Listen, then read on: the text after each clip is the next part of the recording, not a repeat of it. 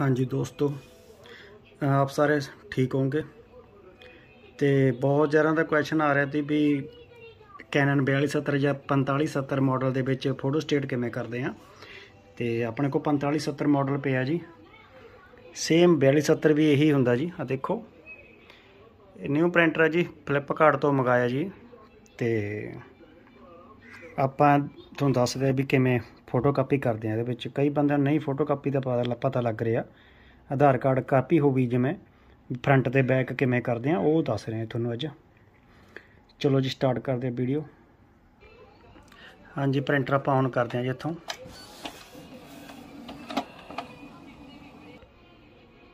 ਹਾਂਜੀ, ਹੁਣ ਆਪਾਂ ਕਾਰਟ੍ਰਿਜਾਂ ਇੰਸਟਾਲ ਕਰਦੇ ਆ ਜੀ।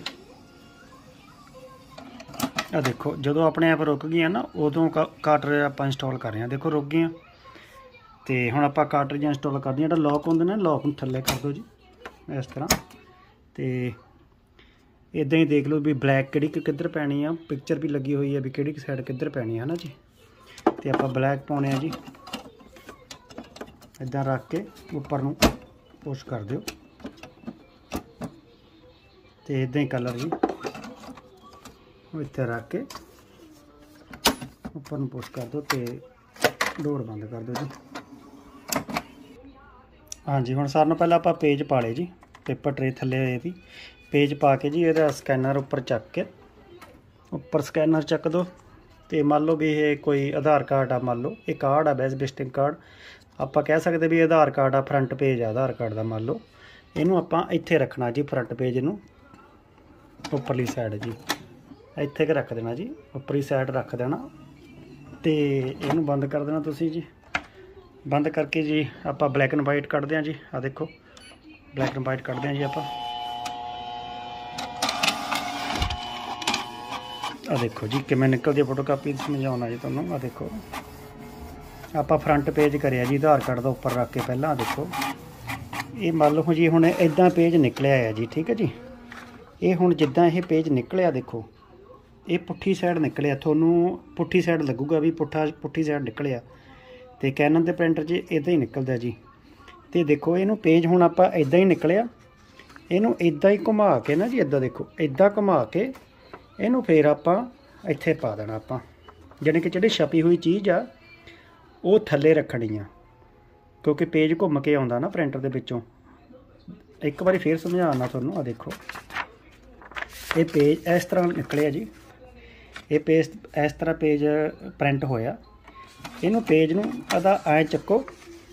ਇਹਨੂੰ ਚੱਕ ਕੇ ਇਹ ਇਸ ਤਰ੍ਹਾਂ ਘੁਮਾ ਕੇ ਤੇ ਇਹਨੂੰ ਪੇਪਰ ਟਰੇ ਦੇ ਵਿੱਚ ਤੁਸੀਂ ਦੁਬਾਰਾ ਫੇਰ ਰੱਖ ਦਿਓ ਇਹਨੂੰ। ਆ ਦੇਖੋ। ਪੇਪਰ ਟਰੇ ਤੇ ਰੱਖ ਕੇ ਤੇ ਆਹ ਤੁਸੀਂ ਦੇਖੋ ਜੀ, ਇਹ ਆਪਣਾ ਫਰੰਟ ਪੇਜ ਹੋ ਗਿਆ ਜੀ ਆਪਣਾ, ਠੀਕ ਹੈ ਜੀ? ਆਹ ਆਪਣਾ ਫਰੰਟ ਪੇਜ ਹੋ ਗਿਆ ਤੀ। ਤੇ ਆਧਾਰ ਕਾਰਡ ਦਾ ਮੰਨ ਲਓ ਹੁਣ ਤੁਸੀਂ ਸਮਝ ਲਓ ਵੀ ਆਹ ਬੈਕ ਸਾਈਡ ਕਰਨੀ ਹੈ ਜੀ, ਮੰਨ ਲਓ ਆਧਾਰ ਕਾਰਡ ਦੀ। ਪਹਿਲਾਂ ਆਪਾਂ ਇੱਥੇ ਰੱਖਿਆ ਸੀ ਫਰੰਟ ਹੁਣ ਥੱਲੇ ਰੱਖ ਲਓ ਇਹਦੇ ਥੋੜਾ ਜਿਹਾ।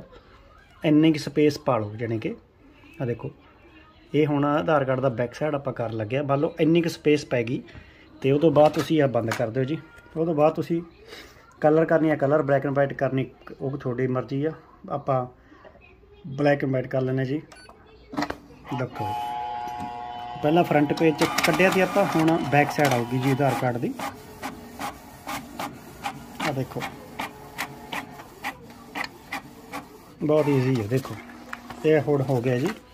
ਆ ਦੇਖੋ ਇਹ ਫਰੰਟ ਆਪਣੀ ਹੋ ਗਈ ਜੀ, ਤੇ ਆ ਹੋ ਗਈ ਆਪਣੀ ਬੈਕ ਸਾਈਡ ਹੋ ਗਈ ਜੀ, ਠੀਕ ਹੈ ਜੀ? ਤੇ ਉਹ ਵੀ ਦਿਖਾ ਦੇਣਾ ਤੁਹਾਨੂੰ ਵਿਜ਼ਿਟਿੰਗ ਕਾਰਡ ਜੀ। ਆ ਆਪਾਂ ਫਰੰਟ ਪੇਜ ਕੱਢਿਆ ਤੀ ਜੀ, ਤੇ ਆ ਆਪਣਾ ਜੀ ਬੈਕ ਸਾਈਡ ਆ ਗਿਆ, ਠੀਕ ਹੈ ਜੀ?